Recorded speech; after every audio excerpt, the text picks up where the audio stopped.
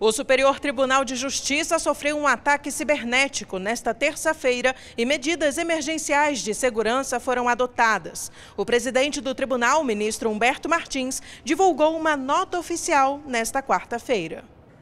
Segundo a nota oficial assinada pelo presidente do STJ, ministro Humberto Martins, a rede de tecnologia da informação do tribunal sofreu um ataque hacker quando aconteciam as sessões virtuais de julgamento das turmas. Como medida de segurança, foi editada a resolução número 25, que já está em vigor.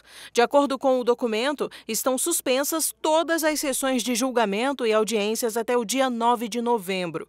Os prazos processuais administrativos, cíveis e criminais também estão suspensos até a próxima segunda-feira e voltam a correr no dia 10 de novembro.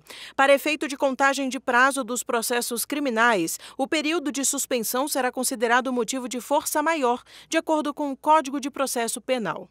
A presidência do STJ já acionou a Polícia Federal para a investigação do ataque cibernético. A Secretaria de Tecnologia da Informação e Comunicação do Tribunal também está trabalhando na recuperação dos sistemas. As demandas urgentes, como liminares em habeas corpus, estarão centralizadas na presidência do STJ e as petições devem ser encaminhadas ao e-mail protocolo.emergencial.stj.jus.br.